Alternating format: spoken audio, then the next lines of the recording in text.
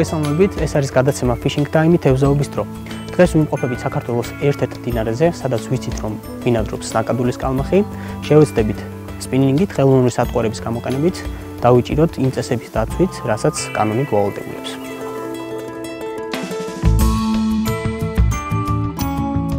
საქართველოს კანონმდებლობით ნაკადულის კალმახზე თევზაობა დაშვებულია მხოლოდ და მხოლოდ ხელოვნური სატყუარების გამოყენებით, შესაბამისი ნემსკავებით, ანუ უენო ბარბლეს ნემსკავებით, რომელსაც ენა არ აქვს და ფიზიკურად დაჭერის დროს არ ვაზიანებს თევს.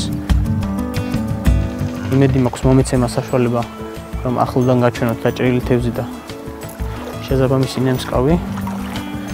მოდით ახლოდან გაჩვენებთ. ხელოვნური სატყუარა, ნემსკავი, რომელსაც ენა არ აქვს.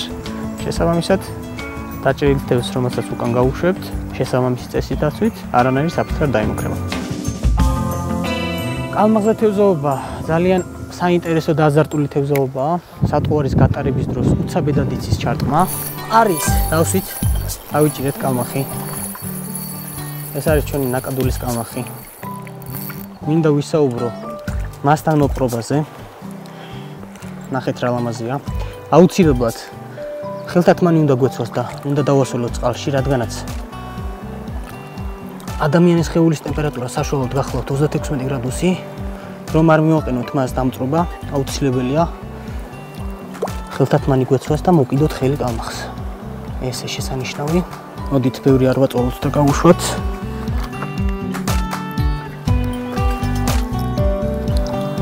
წადი ლამაზო, ინასვალე. წადი იცოცხლე იმრავლე და გაიზარდე.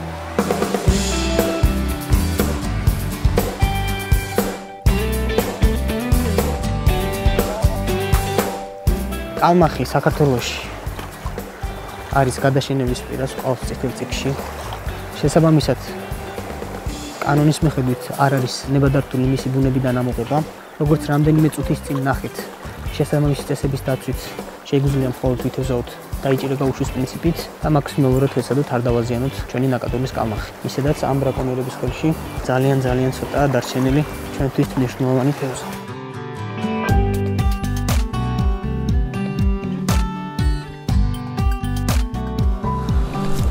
მივადექით ძალიან პერსპექტიულ ადგილს. ესეთი ჩაძირული ხი არის. ხის წინ აი დამეტყა ახლა.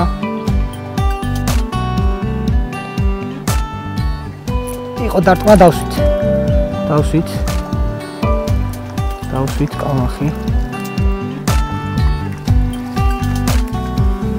აუცილებლად გავუშვებთ, რა თქმა უნდა. აუცილებლად. ცოტა უხერხული ადგილია მართალია, მაგრამ მოდით არ ვაწოლოთ და გავუშვათ.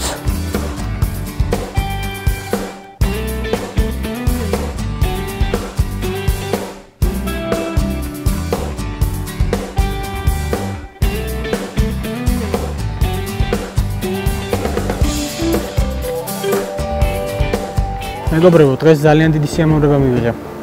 კალმახზე თევზაობით კალმახზე თევზაობა არის ძალიან აზარტული თევზაობა.